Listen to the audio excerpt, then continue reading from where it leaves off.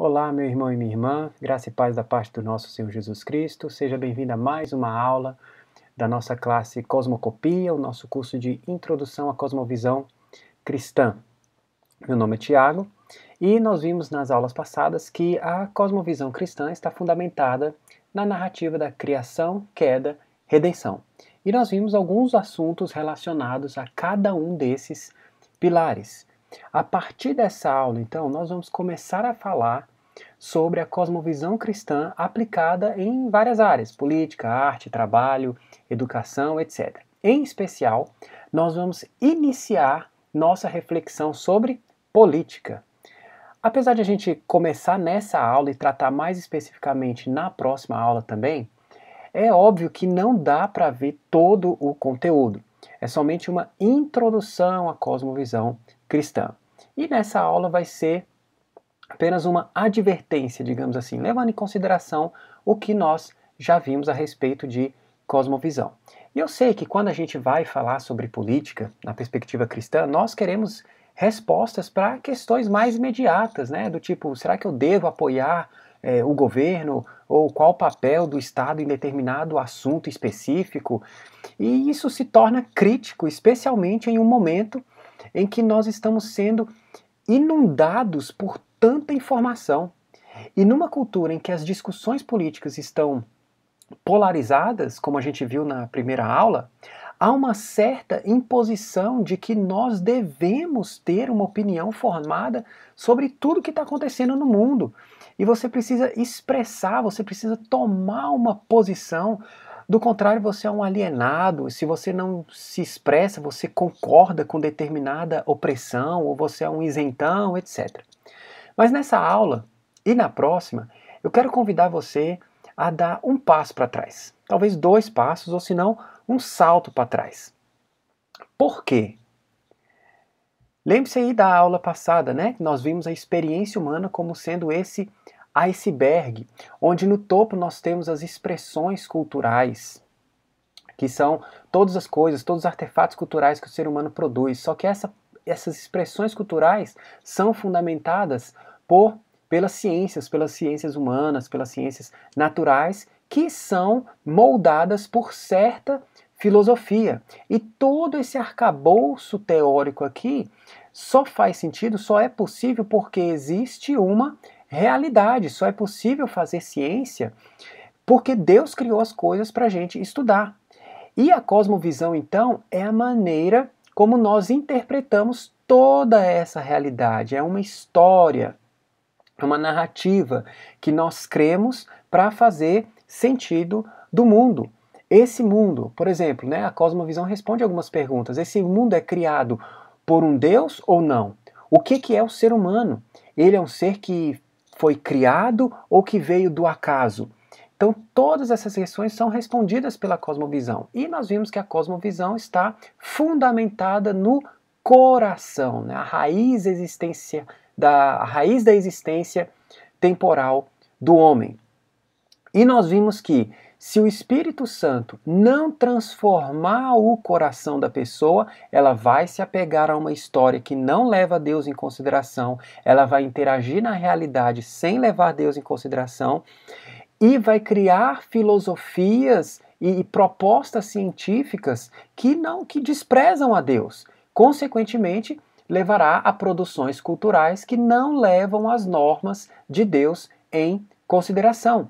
Mas se o Espírito Santo converte o coração de alguém, nós vimos que isso abre a possibilidade para mudança na cosmovisão.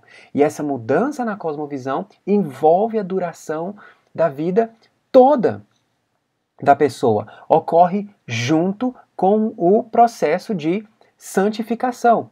Em outras palavras, Alguém então pode ter o seu coração regenerado, mas ainda assim sustentar uma cosmovisão não cristã. Então, puxando para o tema da nossa aula, as nossas ideias, as nossas opiniões sobre política, sobre o papel do Estado, devem partir de uma ciência política cristã que está fundamentada numa filosofia, numa proposta filosófica cristã da política que é orientada por uma cosmovisão cristã que flui de um coração regenerado. Mas você deve estar se perguntando: será que existe isso? Ora, irmãos, nós temos uma herança reformada sólida sobre o pensamento político. Lutero, aí da esquerda para a direita, Lutero, João Calvino e John Knox escreveram sobre o governo civil. As confissões de fé reformadas também, aí a Confissão de Fé de Westminster, o Catecismo de Heidelberg, Confissão belga, as confissões reformadas também falam sobre o governo civil. E vários pensadores reformados se dedicaram ao pensamento político no decorrer da história, como por exemplo, da esquerda para a direita aí, Johannes Althusius, no século XVII, calvinista alemão, ele foi o primeiro teórico do federalismo, ele é considerado o pai do federalismo moderno. Federalismo é a ideia de que o Estado é composto por vários estados, por várias unidades que se pactuam, como o Brasil. O Brasil é uma república federativa.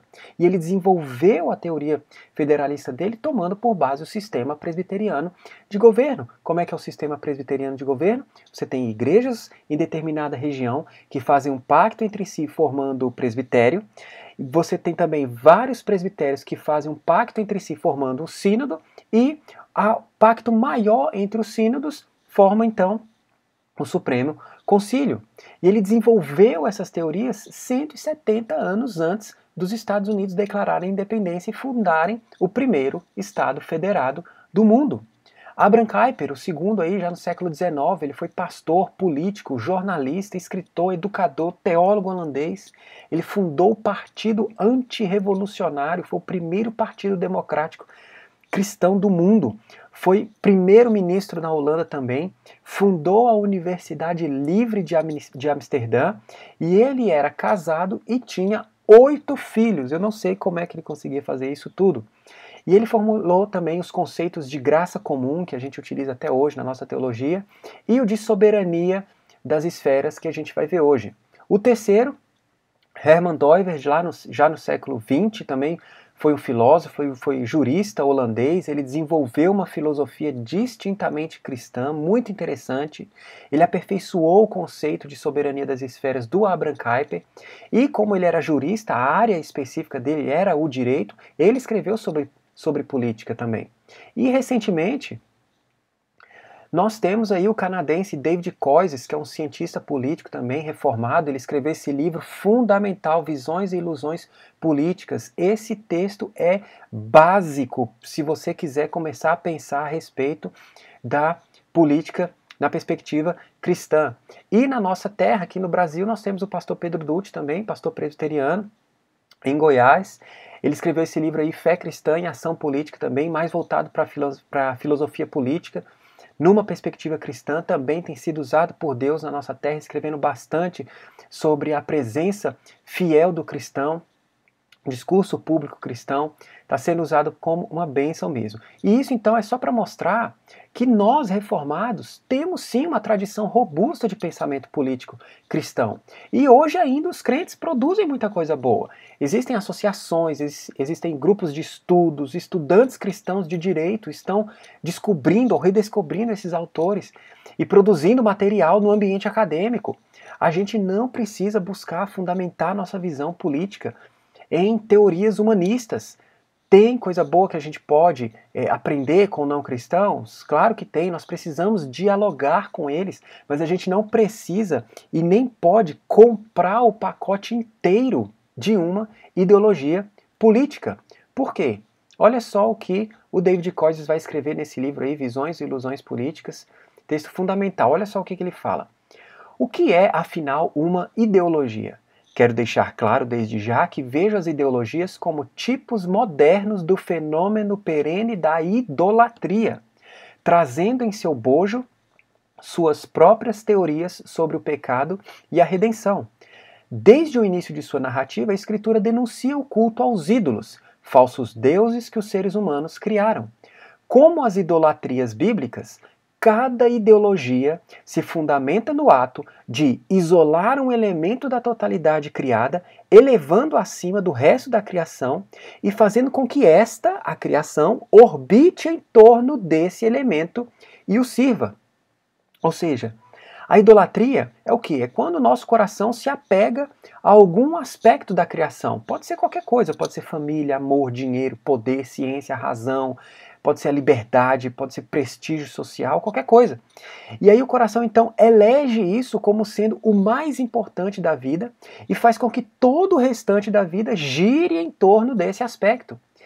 E o que o Coise está falando é que as ideologias políticas vão fazer a mesma coisa. A mesma coisa. A ideologia vai dizer que o mais importante é, por exemplo, a soberania do indivíduo. Ou outra ideologia vai dizer que é a propriedade comum, ou então é a nação, ou então é a tradição, etc, etc. E aí ele continua. A ideologia também se fundamenta no pressuposto de que esse ídolo tem a capacidade de nos salvar de um mal real ou imaginário que há no mundo. Toda ideologia, então, possui uma doutrina da salvação, ou seja, ela diz que existe um mal no mundo, seja a propriedade privada, o próprio governo, várias etnias, pobreza, opressão, e esse mal precisa ser eliminado para que a sociedade viva em paz. E aquilo que ela supõe ser o mais importante, que ela elevou acima da criação, é que vai curar esses males. Então veja, Toda cosmovisão responde perguntas básicas que fornecem uma imagem do mundo, como eu mencionei. O que é o ser humano? O que é o mundo? O que está errado com o mundo? E toda ideologia política responde essas questões. Os seres humanos são mais iguais ou desiguais? Por que, que existem conflitos na sociedade? Como minimizar esses conflitos? É aumentando o poder do Estado ou é dando mais liberdade para os indivíduos? Em que sentido o ser humano é livre? Como consertar o que está errado? Essas são perguntas fundamentais que toda ideologia ou partido responde. E a partir delas são propostas políticas públicas. As ideologias políticas estão fundamentadas, sim, em cosmovisões, em crenças mais básicas a respeito do ser humano, de Deus, da ética. Então, quando uma pessoa se identifica com uma ideologia política, isso não somente tem a ver com a imagem do mundo que ela sustenta, mas revela o quê? Que o coração dela está apegado religiosamente com aquilo que a ideologia diz que é salvação para a sociedade. O coração dela está religiosamente comprometido com isso. Por isso, quando nós estamos conversando a respeito de política com alguém que se identifica com uma ideologia ou com um partido político, existe a possibilidade de a discussão se tornar muito emotiva exaltada, porque nós não estamos falando somente de política, como se fosse algo estanque, separado de outras questões. Envolve a estrutura da visão de mundo da pessoa, de como a realidade faz sentido para ela, de quais valores ela considera mais importante. E aí, quando ela vê isso ameaçado, ela vai sim defender com unhas e dentes. Porque você está mexendo em algo que sustenta sustenta ela. É como se você estivesse dando marretadas nos pilares do edifício existencial da pessoa. Agora coloque isso no ambiente polarizado e emocional que nós estamos vivendo. É só você entrar em qualquer discussão nas redes sociais para ver a ferocidade venenosa com que as pessoas estão defendendo, defendem as suas posições. E porque as ideologias políticas pressupõem uma cosmovisão, é aqui que o cristão deve estar atento. As cosmovisões que sustentam as ideologias políticas contemporâneas não têm nada a ver com a cosmovisão cristã. Olha só o que o pastor Pedro Dutti escreveu em um material ainda não publicado, num curso que ele deu. Ele falou o seguinte: uma vez que cada ideologia política surge a partir da mesma lógica da idolatria religiosa, que é aquilo que o Coises explicou, né, de isolar um elemento da realidade e fazer com que toda a criação se dobre perante esse elemento, não existe nenhuma opção política não cristã que não esteja comprometida desde sua raiz. À luz dessa, dessa chave de compreensão da realidade política, temos condições de dizer que nenhuma ideologia está mais ou menos próxima do cristianismo. Lembre-se de novo do iceberg. Se o coração, a raiz da nossa experiência com o mundo, não estiver em Deus, toda a experiência com o mundo, propostas filosóficas, sociais e políticas, também não vão levar Deus em consideração. Elas vão pegar alguma coisa criada e elevar acima do resto da criação. Lembra do que a gente viu no exemplo de, Frozen, quando o desenho exalta a virtude do amor?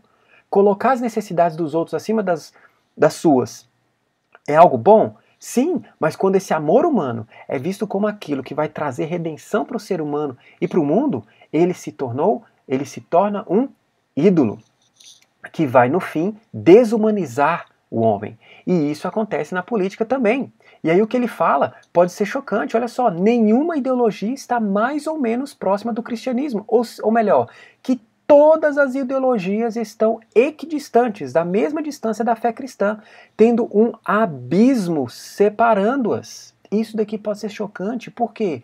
Porque nós estamos acostumados a pensar a política da seguinte maneira: se um lado do espectro político ou se determinada ideologia, partido, proposta, plataforma política tiver mais pontos de contato com a fé cristã, então é isso que o cristão deve ser.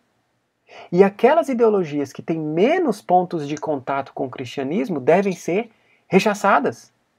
Mas tem algo errado nesse tipo de pensamento. E o pastor Pedro Dutti vai dar um exemplo. Olha só o que ele continua falando. Pense no contra-exemplo para poder entender meu argumento. Faz algum sentido perguntar quem está mais próximo de Jesus, Exu ou Iemanjá? Ou ainda, qual culto se parece mais com o cristão, a Baal ou a Moloque? Qualquer membro de igreja evangélica dirá que essas perguntas são absurdas e que o culto ao Deus verdadeiro não tem parte com os ídolos da mesma forma quanto as idolatrias políticas. Nenhuma visão de mundo que nasce de pontos de partida idólatras está mais ou menos próxima da cosmovisão cristã, da cosmovisão bíblica. Todas estão igualmente distantes e são incapazes de reconhecer o valor que algo tem para além dos aspectos sociais que elas tornaram absolutos e chamaram de Deus. Então veja, o ponto que eu quero enfatizar é que a política não cristã não tem categorias para expressar valores sociais e políticos do cristianismo, porque partem de visões de mundo idólatras e constroem o seu arcabouço teórico e prático a partir dessa raiz já comprometida. É claro que as ideologias vão enfatizar certas virtudes, identificar problemas na sociedade que nós podemos reconhecer que elas estão certas, porque as pessoas por trás dessas propostas são imagem de Deus, vivem no mundo de Deus e, pela graça comum de Deus, conseguem perceber certas verdades, certas estruturas que Deus colocou na sua criação e identificam certas injustiças que devem ser combatidas. E nesses pontos específicos nós podemos concordar. Isso foi o que outro teólogo formulou, um Francis Schaeffer, que é muito importante também para o tema da cosmovisão e do relacionamento do cristão com a cultura. Ele desenvolveu o conceito de cobeligerância, ou seja, o cristão se unir com pessoas com cosmovisões diferentes para militar por uma causa comum, para defender algo para o bem público, para denunciar alguma injustiça. Mas o fato de lutar junto por determinada causa não significa que o cristão vai se aliar de forma irrestrita, vai apoiar integralmente, se identificar acriticamente, ou batizar uma ideologia, um partido, ou, ou político, ou um lado do do espectro político, como sendo representante da visão cristã. Nosso pensamento e atuação política deve superar essa síntese que nós fazemos entre fé cristã e fé pagã na política e também superar o discurso polarizado político que nós vimos na primeira aula. Bom, como fazer isso? Né? É a pergunta de um milhão de dólares. De dólares. O tema é amplo, como eu já falei, vale assim um curso inteiro. Então a nossa proposta nessas aulas é trazer alguns conceitos básicos de como podemos pensar a respeito de política a partir da cosmovisão cristã. Então, por isso eu mencionei da gente dar um passo para trás. Vamos voltar aos nossos fundamentos para que a gente possa começar a pensar de forma cristã a respeito da política a partir de, do que a gente tem visto. Para isso, então, nós vamos começar com um conceito muito importante de esferas de soberania ou soberania das esferas. Lembra que na segunda aula, quando o Miqueias começou explicando o pilar da criação, ele nos mostrou que Deus criou tudo com ordem, ou seja, Deus criou as coisas com estruturas e com funções diferentes. Cada coisa criada tem uma regra, uma lei, uma norma de funcionamento próprio. Os vegetais funcionam de maneiras diferentes dos animais, que funcionam de modo diferente das pedras. E o Miquel mostrou também que Deus criou as coisas com diversidade. As coisas na criação são diversas e diferenciadas. Há inúmeras e distintas espécies de árvores, ervas e animais. E o interessante é que essa ordenação e diversidade, além de ocorrer no âmbito natural, também ocorre no âmbito social. Ou seja, há uma diversidade de associações humanas, várias maneiras de nos relacionarmos uns com os outros.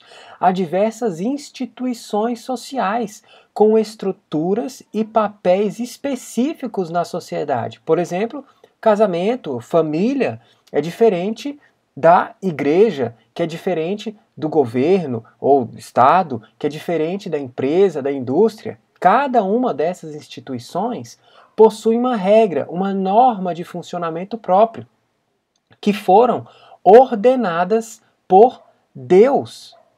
Veja só o que João Calvino fala no terceiro volume das Institutas. Deus ordenou a cada um de seus a cada um seus deveres em gêneros distintos de vida. Então veja, de novo aí, ordenação, regras, leis e distinção, diferenciação, diversidade.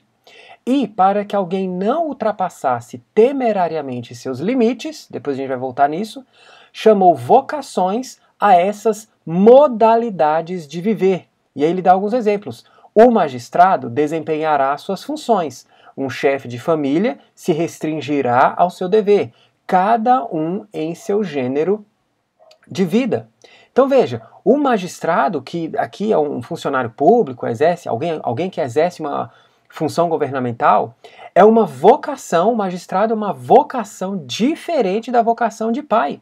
Ou seja, a atuação ou a autoridade do magistrado civil é limitada por certas regras que Deus ordenou. Da mesma forma, os pais têm uma determinada atuação na família que é ordenada por certas normas que Deus é, deu, Deus criou.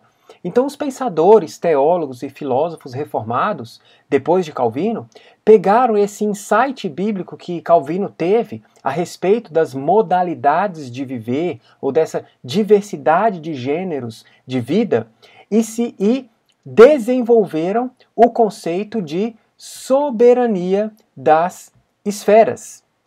O que, que é isso? Ora, a realidade que Deus criou possui várias dimensões, vários aspectos, vários campos. Nós podemos perceber que nós experimentamos a realidade que Deus criou de vários modos.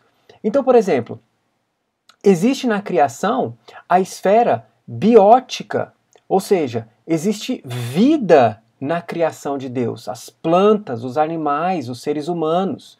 Mas também existe a esfera psíquica, ou seja, nós temos percepção de nós mesmos, dos outros, das coisas, nós temos emoções, nós sentimos medo, alegria.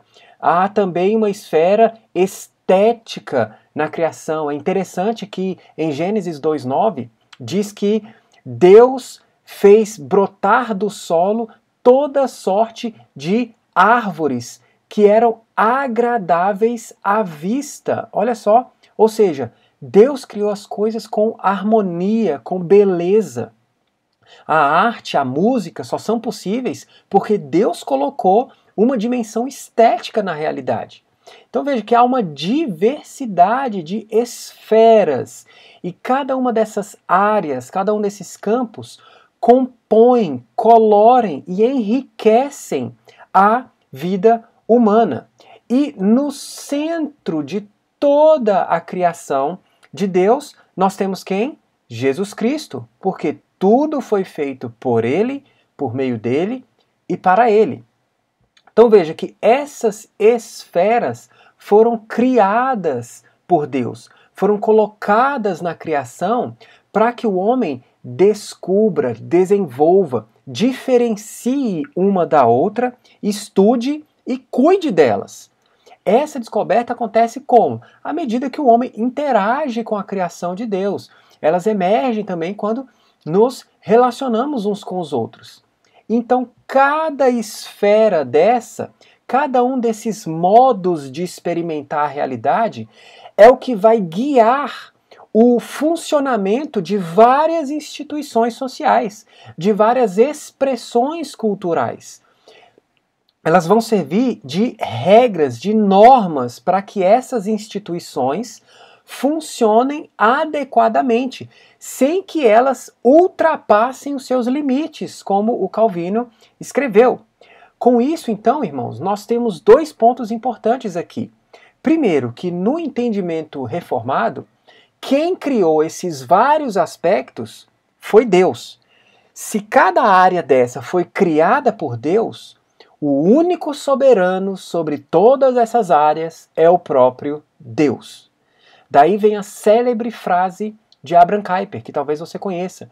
Na extensão total da vida humana, não existe nenhum centímetro quadrado acerca do qual Cristo, que é o único soberano, não declare: Isto é meu. Então lembra que quando estudamos sobre o pilar da criação, nós vimos que o homem foi colocado como gerente da criação, subregente ali. O único dono é Deus. É Deus quem diz como as coisas devem funcionar. Nós somos mordomos, nós obedecemos às regras, às normas que Deus colocou na criação e nós cuidamos das coisas para Deus. Então, esse é o primeiro ponto importante. Essas esferas devem a sua existência, estão sujeitas à autoridade de Deus somente. Deus é soberano sobre cada esfera dessa, cada esfera dessa daqui que ele mesmo é, criou. Então, o que nós fazemos é o que? É descobrir, é desenvolver, é estudar, cuidar delas certo? Então, uma nota de rodapé aqui, dizer que Deus é soberano sobre essas áreas aqui, sobre esses campos, sobre essas esferas, não significa dizer que a igreja, como instituição, é soberana sobre essas áreas. Não. A igreja é uma instituição que está sendo guiada, ou que é guiada por uma esfera específica. Tá certo? Então, esse é o primeiro ponto: soberania absoluta de Deus sobre as esferas. O segundo ponto importante é que cada esfera possui soberania própria em relação às outras esferas. Ou seja, cada esfera possui uma regra de funcionamento própria, ela tem um propósito singular na vida humana, na criação. E na nossa experiência é, comum, a gente percebe isso. Imagine só que no final do mês eu reúno ali a minha família e eu falo assim para minha filha de 5 anos: Olha, Talita, você não deu lucro esse mês.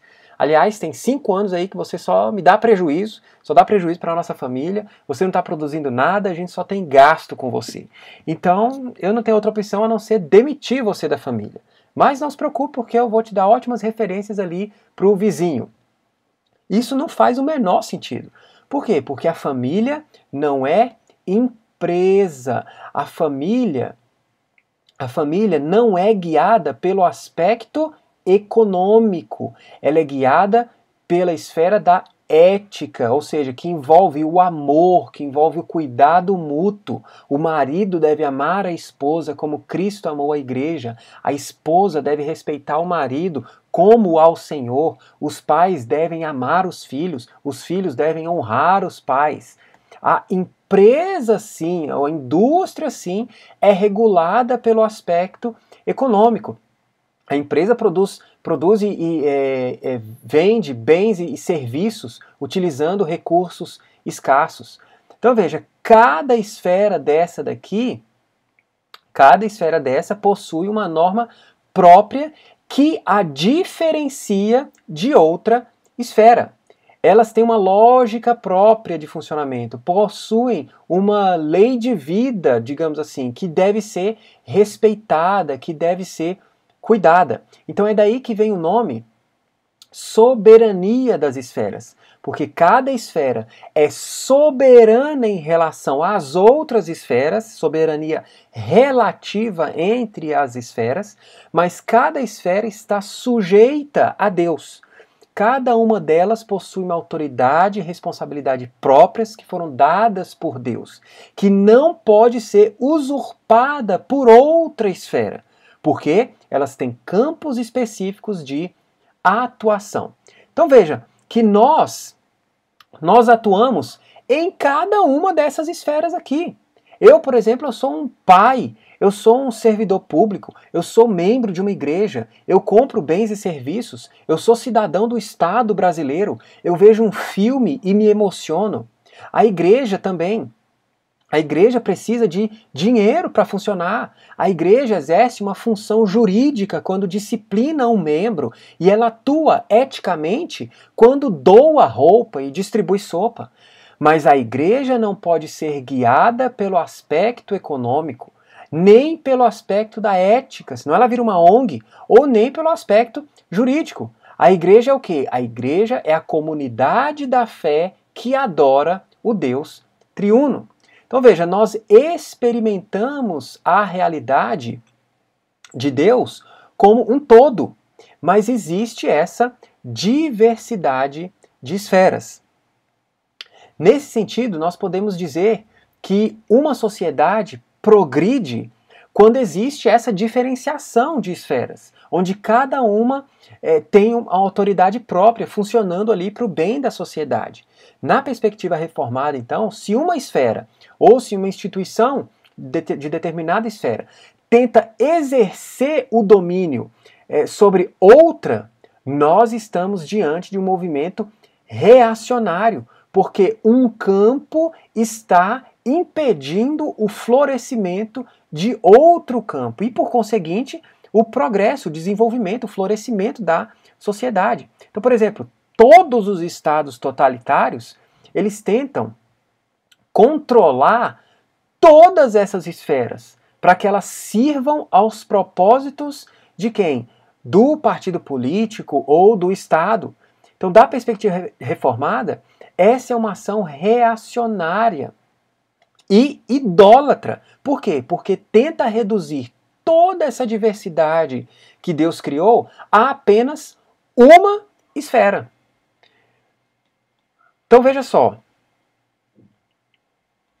nós não enxergamos a sociedade de forma hierarquizada, do tipo a igreja é mais importante que a família ou que o Estado é mais importante que a igreja ou vice-versa. Elas estão que no mesmo nível, são instituições, são esferas sociais diferentes, elas têm funções sociais diferentes certo? Soberania absoluta de Deus, mas soberania relativa entre as esferas. E isso daqui, meus irmãos, nos dá base para pensarmos sobre política na perspectiva cristã, nos dá base para pensarmos a respeito da ideia cristã de Estado. Então veja, o Estado, ele é uma instituição que está fundamentada em uma das esferas. Então, qual é o papel, qual é a finalidade do Estado na visão cristã reformada?